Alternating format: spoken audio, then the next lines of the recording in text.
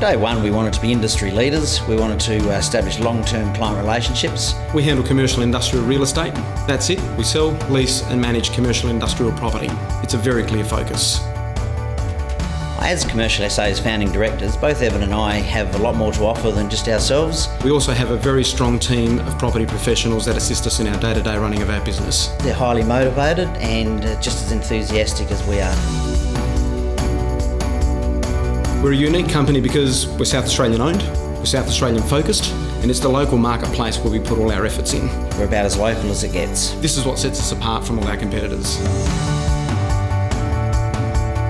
Our handpicked team is SA's best, so we really understand SA's commercial industrial market. We'll handle anything from uh, an ATM to a uh, large shopping centre. If the client is stressed, we're not doing our job. Our job is to take the stress away from them. I feel privileged to work with such a fantastic team. Their day to day support is uh, second to none.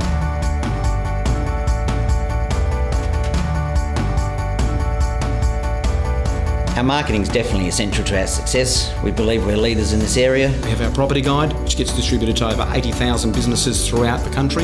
We have an easy to use website. We have our signs, which are the most prominent in the state. We have quality brochures and floor plans on your property. All of these tools give us greater exposure and certainly better results.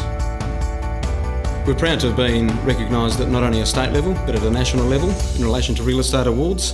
And we put that down to being focused and determined to get the best results for our clients. And at Commercial SA, the results speak for themselves. No job is too big or too small here at Commercial SA. Both Andrew and myself look forward to the opportunity of discussing any real estate matter that you may have.